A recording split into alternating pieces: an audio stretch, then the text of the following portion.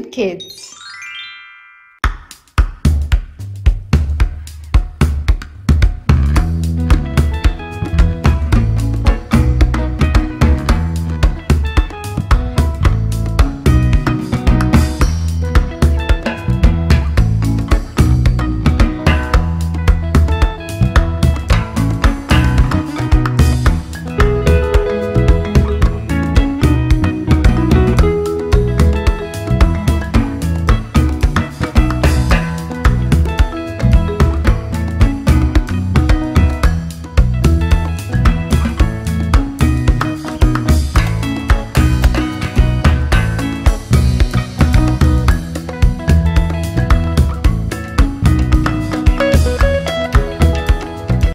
Don't forget to like and subscribe.